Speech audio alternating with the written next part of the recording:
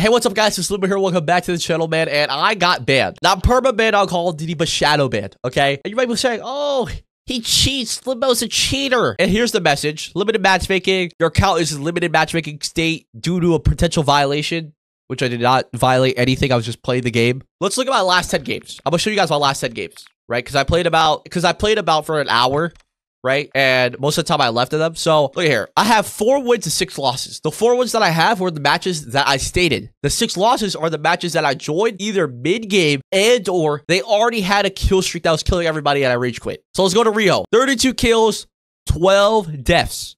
I was in the game for 4 minutes and 48 seconds. I joined midway when it was about 70 to 20, and we were losing. I was going against people that were using the Rival 9 and MCW. And then once they got a Reaper, I was completely fucked. And I got so annoyed by this one guy. His name was Diff, I'm pretty sure. His name was Diff. Right here. 30, he ended up with 33 kills. He had the pink and white anime skin, and I was so annoyed by it, okay? And I killed him, and I left the game after shooting his body and emptying the mag on him. Departures over here. 11 kills, three deaths. I didn't go negative at all in these last two matches. For departures, I was only in there for two minutes and I was sniping. And this game, I joined midway when it was 100 to 80 and they already had an advanced UAV. Would any normal player want to play against that? People leave when people start getting kill streaks. This game right here, I did not drop a DNA bomb, right? I had 62 kills. I finished the entire game. I was there for nine minutes. I joined at the ninth minute. I believe, and we were down. It was a very close game. This Perker head kid is legit 10 years old, and he was calling me dog shit. The only way I got 62 kills was not through a DNA bomb, but was through the swarm getting so many kills that I got a carpet bomb. Then that carpet bomb would push me to an advanced UAV. Then I would get simply three kills with my weapon to get another swarm. So I dropped 62 kills with there. Over here, 106 kills and 6 deaths, 17.67 KD. I was in there for 8 minutes and 30 seconds. This is a game that I was there for the entire time from start to finish. I dropped a DNA bomb, and this guy named Bots Guy, who was also in the six-star match, I believe, on the other team somewhere here. Yeah, right here. We matched up again, and he was going crazy about how I was getting a swarm and dropping a DNA bomb. And then for Karachi over here, 76 kills and 4 deaths. I was there for 9 minutes and 46 seconds. It was hardpoint this time. We won once again. I was in a game with, I believe, to notice. I'm pretty sure.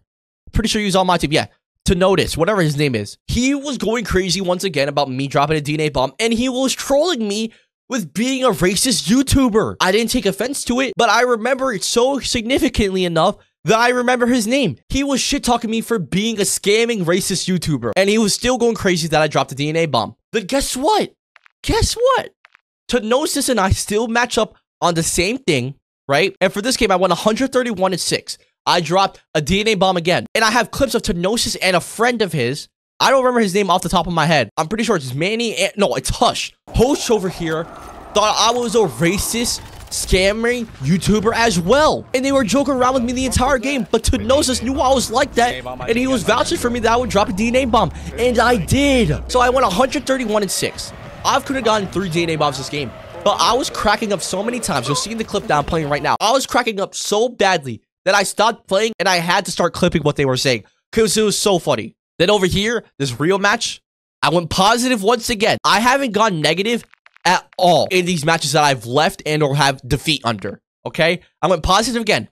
I'm using the BP-50, a gun that I have not dropped a DNA bomb with. My personal goal is to drop a DNA bomb with every aftermarket part in the game. And the BP-50 is one of those aftermarket part weapons that I have not dropped a DNA bomb with yet. So I left. And then for the next one, we have Rio over here, 73, 125. And you're wondering, how does it match in two minutes and 21 seconds go for get to 73 and 125? I joined this match mid-match once again. I don't like playing games that have already started.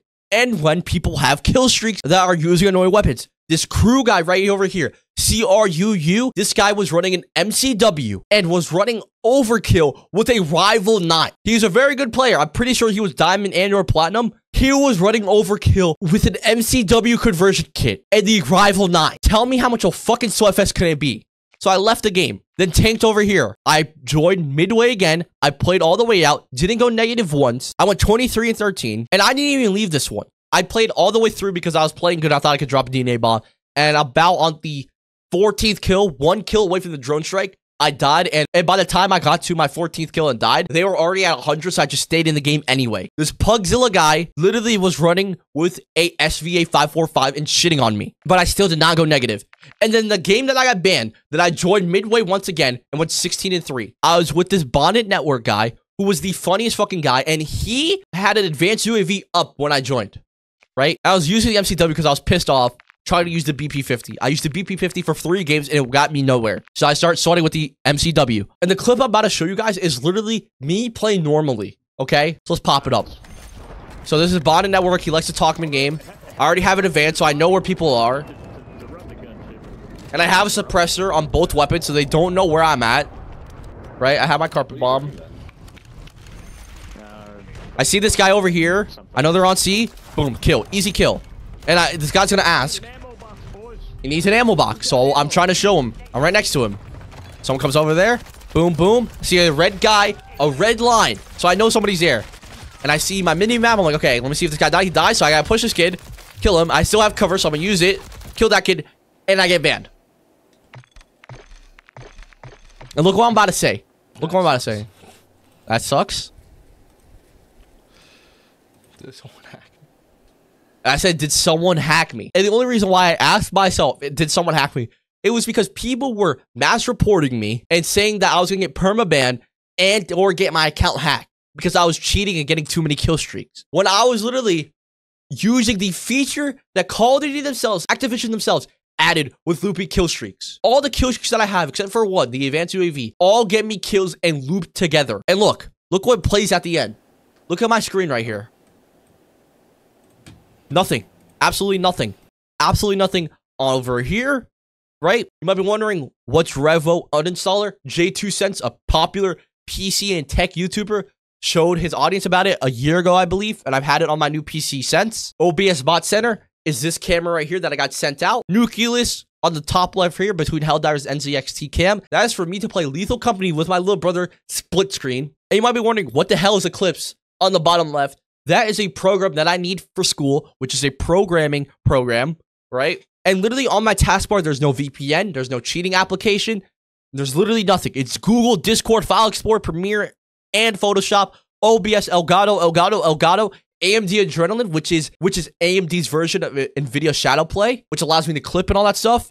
Voicemeeter, which is my audio, Epic Games Launcher, Steam, and that one in the middle between Steam right here, that is plutonium. If you don't know what Call of Duty plutonium is, it's a way to play old Call of Duties like Black Ops 1, Black Ops 2, Modern Warfare 3, Modern Warfare 2, World at War.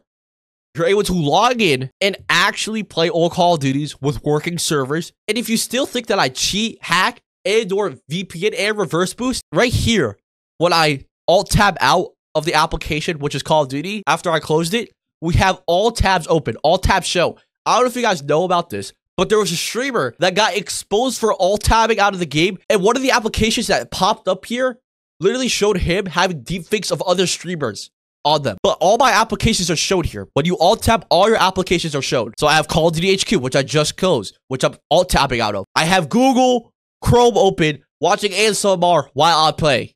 Okay? Don't ask why I do it. It was what? It was 12 a.m. at night. I wanted to relax. I like ASMR, and I have a fucked up back. I would love to have a chiropractic session. Okay, I want to get my back cracked. I have Voicemeeter, which is my audio, and then Steam. But I'm done. I'm done. I- am not playing Call of Duty for a couple days. I'll probably do something else. But yeah, I hope you guys enjoyed. Drop a like, subscribe, and comment down free limbo, even though I'll be freed in a couple days. Peace.